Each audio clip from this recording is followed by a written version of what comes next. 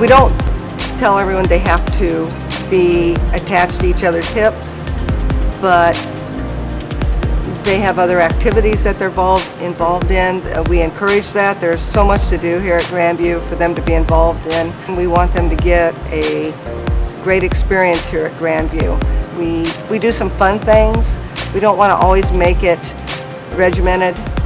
Uh, we want them to also have a little fun with it.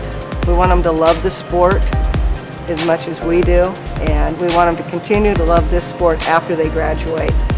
And um, that's what a lot of bowlers are looking for is that what can I take from this program after I graduate? Some of them want to try out and bowl in the pros.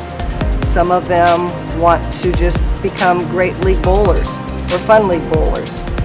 They can they can do whatever they want after the program and that's what makes it so great that they can take this with them and still be able to do what they love.